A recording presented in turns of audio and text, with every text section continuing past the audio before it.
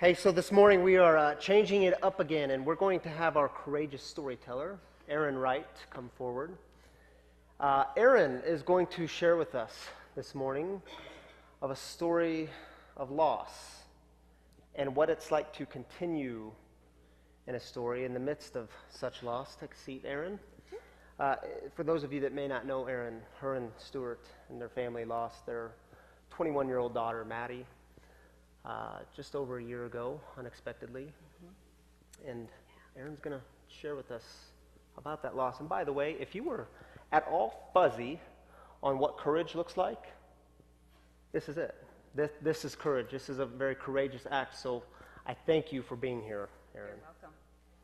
Um, our daughter, Madison, uh, when she was a junior in high school, we were having a lot of problems, and uh, we needed to do something. We felt like we were losing her. She needed help. We, need, we needed help. So we sent her to a therapy rehabilitation school in Utah. While she was there, she turned 18 and easily could have walked out, but fortunately she did not. And she stayed and finished the program and we picked her up right before Christmas. Um, she finished high school. She got a job at Kohl's. She enrolled in Community College of Denver. She bought herself a car. Life was good. And I'm not saying it was perfect. There were a lot of ups and downs still. But she was living life and loving it. In uh, July of 2013, we were in Montana for ori- orientation with our youngest daughter, and when we returned home, we found that Maddie had passed away. We originally thought it was alcohol poisoning, but she had fallen asleep in a bad position and cut off her airway, and she passed away from positional asphyxia. And so our, our family was pretty torn apart.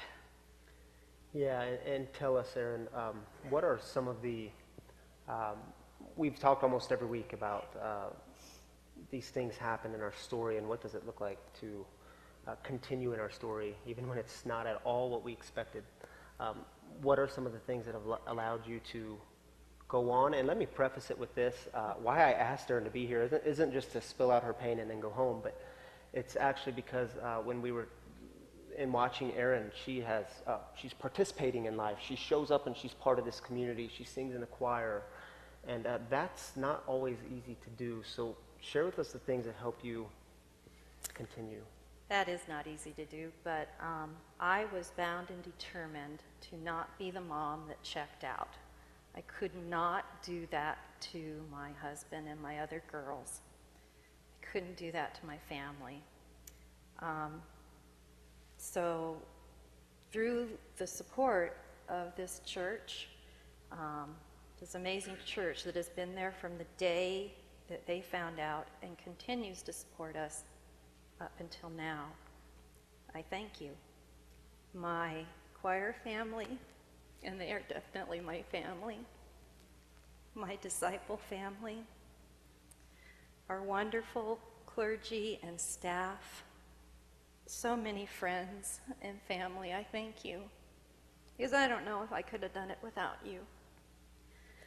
But most of all, I get my strength from God. He gets me through each and every day. Reminds me to stop and smell the roses and to be a little kinder to myself and to help others. When uh, the first year, I made it through the first year. I have to admit, I think the second year is a bit harder because she really isn't coming home. Um, I know God was with her when she passed. I know He comforted her. And I know He took her home to heaven. And I find great comfort in that. So, so we go on. Um, Valentine's Day, I found, I walked upstairs and found this card in her doorway. It was her Locks for Love donation card. And um, she loved to donate her hair. She had this long, thick hair. And out of one donation, she can make three donations out of one ponytail. So she loved that. Um, I think that was her way of telling me that she still loves me and I love her. and to go on and live life and be in relationship with God because He's always there. And um, I miss her horribly, but I pick up the pieces, and all of you help me pick up the pieces. Thank you for being here. Welcome.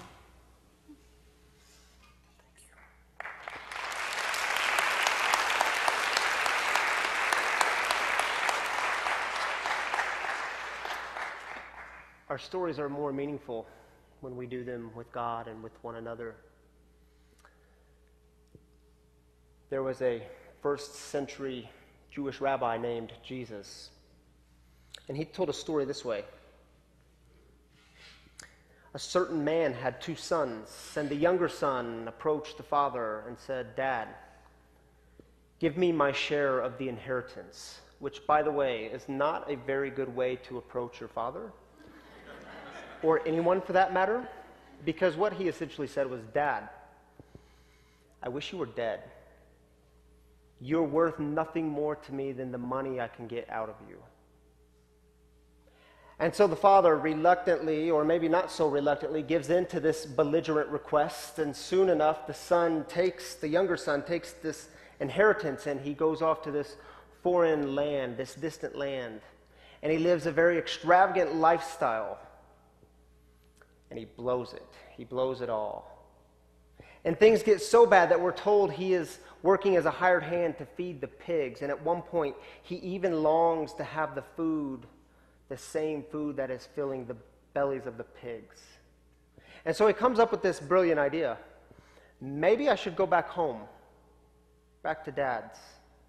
Even if I have to work as a servant, maybe it would be better there. And so that's exactly what he does. He starts making his way home. And like every other night for the last several months, the father is standing at the window, waiting for his son's arrival. And on this night, that's exactly what he sees. So the father opens the door and runs out to greet him with hugs and kisses. It is a really interesting image for this first century Jewish story because he runs and a first century Jewish patriarch would never be caught running. Why? Because it's an act of shame. As he would run, his robe would start to come up, even if it was just a little bit. And as the robe came up, his legs would be exposed. This was shameful. This is something you turned away from. These are not the elements that make for a good story. And so they go on to celebrate. And he says to his servants, Quick, fetch the fattened calf and slaughter it. We must celebrate with feasting because this son of mine was dead and has come back to life. He was lost and is found, and they continue to celebrate. Meanwhile, the older son has been working in the fields all day, and he's making his way home. And as he makes his way home, he hears this laughter and loud music. And as he gets closer, he asks one of the servants, What is going on here? And the servant says, with amazing excitement, he says, You're not going to believe it. Your brother has come home. And your dad is throwing this huge party. And it's not just for us or the family, it's for the entire village. The older brother is absolutely furious. His dad begs him to come in and join the party, and he says no. He stands outside. And finally, his father comes out and he says to him, Look, Dad, I've served you all these years and I never disobeyed your instruction, yet you've never given me as much as a goat so I could celebrate with my friends.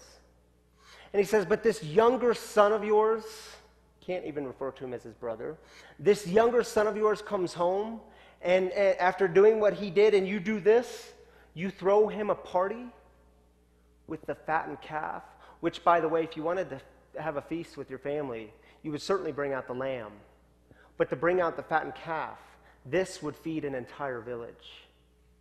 You do this? And the father looks at him and says, Son, you are always with me Everything that I have is yours. And in this moment, you can hear that reconciling music come in in the background as if we're at the movies, and, and the camera is panning out. And the older son gets a smile on his face and he puts his hands on his hips and he says, Oh, shucks, Dad. I've been so arrogant. I've just never saw it this way. And I'm glad you let me see it this way. Let's go in and celebrate. Where's my younger brother?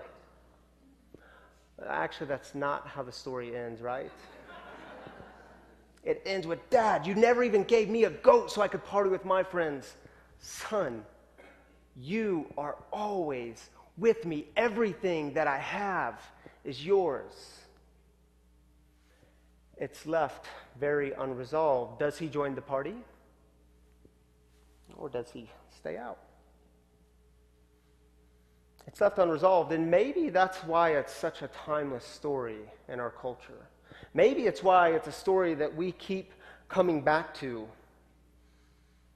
Because all of us have been to a party where there's a brother missing. Something is left unresolved in our lives. Maybe it's that broken relationship, the one you tried so hard to make work. And for whatever reason, it just couldn't be reconciled. Or maybe it's that friend you look at and say, man, I wish he could see what a downward spiral, spiral he's in. Why won't he get help? Why won't he just admit how bad things are and get help? Or maybe it's that broken dream that somewhere along the way, everything you thought that would happen just kind of fell through the cracks, and when it did, your dreams fell with it. We've all had, and we all have, unresolved things in our story. But I want to focus for a moment on the bigger story that's going on here. You see, this story is told in Luke chapter 15. And the opening of Luke chapter 15 tells us exactly who the audience is. It opens in these two verses all the tax collectors and sin- sinners were gathering around Jesus. These were probably people who were new to the Jesus movement. They were, and they were trying to make sense of his teachings. And the Pharisees and the legal experts, so the uh, religious leaders of the day, were grumbling, saying, This man welcomes sinners and even eats with them. You see, I think it's Jesus' way, the story of the prodigal son. Jesus was saying to them and to us, I know you thought God was this way, but let me invite you to see God in a new way. You thought God was about exclusion and condemnation, but this is the God who welcomes you even after you've eaten with the pigs. It's another interesting image in the story. A good first century Jew would never be caught eating among the pigs and certainly wouldn't desire what pigs are eating. This is the unclean animal, the forbidden food of pork. But this God welcomes you even then. And this God takes reconciliation seriously because it's not just about being reconciled to an individual, but sometimes you need to be reconciled to an entire village. And see, you thought God was this way. You thought God cared more about rules and regulations. But this, this is the God who runs to you. This is the God who exposes his legs, who puts love above shame. You see, good stories, they're the stories that we can actually find ourselves in. Good stories are those stories where you and me say, huh, that's me. When it comes to the story of the prodigal son, how many of you at some point in your story could identify with the younger son or the younger brother? You were given so much and you blew it. And you know that blowing it was actually because of your own doing, it had nothing to do with anyone else. But because of this, you also know the power of forgiveness. You realize the depths of forgiveness and reconciliation. And you also realize that sometimes the consequences of your actions mean that you need to be reconciled not just to an individual, but to an entire community. And because of this thing, you also realize the power of partying with the community because these are the ones who love you. These are the ones who will welcome you home. These are the ones who will sustain you when your story is toughest. How many of you along the way have identified with the older son or the older brother? You said, No, I'm not going in. And God, if you knew what I knew, if you knew what she was really like, you wouldn't be offering this type of forgiveness. Or you say to the boss, Look, if you knew what he was really doing, if you knew what his story really was, you wouldn't be giving him this promotion. You wouldn't be giving him this pay raise. So I will stand outside in silent protest in the most passive, aggressive, unhealthy way to show of my disapproval. But maybe somewhere, even in that moment, you hear God saying to you, Yes, and even you, you are always with me. Even you in this moment, everything that I have is yours. Because you realize in this moment or a moment after that grace isn't just for the unclean who realize they're unclean, but it's also just as much for the unclean who think that they are clean. How many of you could identify at some point in a story with the Father? Because you know exactly what it's like to wait. Because for countless nights, you have sat at the window beside the front door, blinds open, waiting for your boy to come home. I haven't been there yet, but I'm not naive enough to think it couldn't be me. It's just that my kids are four and one and a half, so I have time. But I did, I can recall numerous nights watching my mom at the window beside the front door with the blinds open, waiting for her boy to come home. And here's the thing he always came home. I knew he'd drag his butt through the door, and I knew in that moment mom was going to welcome him. She was going to throw open the door, run out to the end of the driveway, and greet him with hugs and kisses and some sort of celebration. And I just couldn't understand it. Every piece of my being wanted to protest and say, Ma, if you only knew where he was and what he was doing, you wouldn't be giving him this sort of welcome. Well, life has a funny way of shaping your story. Because as I've grown older and as I've had kids of my own, I realized that mom knew exactly what was going on. And she still chose love, and she was still filled with compassion.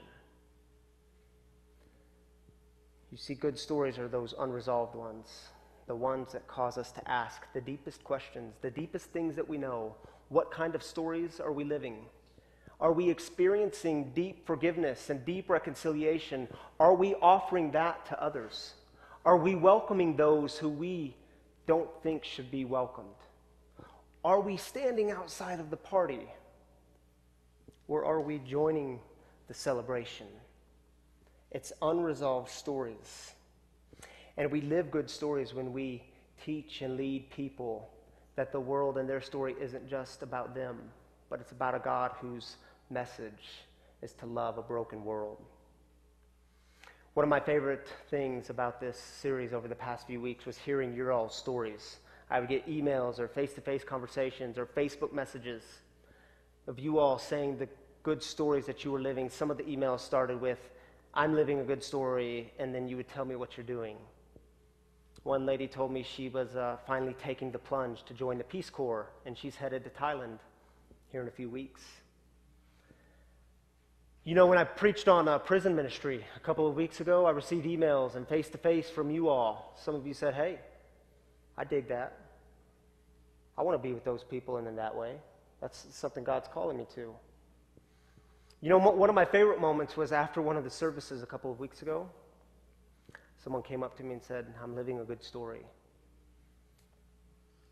And opened the hand and put what was in her hand in my hand. It was a 30 day sobriety chip. And I thought, this is exactly what it means to live a good story. So, here in a moment, we're going to hear a song. Uh, three of you texted or emailed me this song throughout the last five weeks. It's a song by Steven Curtis Chapman, uh, Glorious Unfolding. And you said, man, this song just fits with what you're doing. We've got to play this song. So we saved it for last. As the song plays, you'll notice seven what if stations. Like last week, I invite you to move around this week. We do this in storyline. We'll just kind of dream big together. We'll put the person in the middle and say, What if you did this? Or what if you did this? And the person could say, Yeah, what if I did this? What if I went to Guatemala? But this is your opportunity to dream big. You might say, Well, what if we? What if it's a community thing? Things like, What if I went on a mission trip? Or what if the group that I'm a part of, what if we gave up an afternoon each week and served the least of these? Or this person in my life who just has caused strife. What if I actually took the steps to reconcile with this person? Or what if I started a blog or wrote a book about this thing in my story? Because some of you have had stirrings, not just over the last five weeks, but over the last few months or years. And some of you just need to get that out to live better stories. And there's just something about writing that on the walls of a church, isn't there? But we recognize, and what if there's no limits? There's no boundaries, there are no censors. But the other beauty is we write these things in pencil because there's also something beautiful about pencils and erasers in this world. You are not bound to these things. Feel free to dream. So, as the song is playing, I invite you to move to one of these stations and write in a brief phrase, few words, a sentence, what if I, or what if we? If you are one of those people who says, no, I don't want to move, I like sitting, I want to reflect, I invite you to stay seated and reflect and watch the video. It's a pretty moving story. I invite you to move, or I invite you to stay seated. Thank you.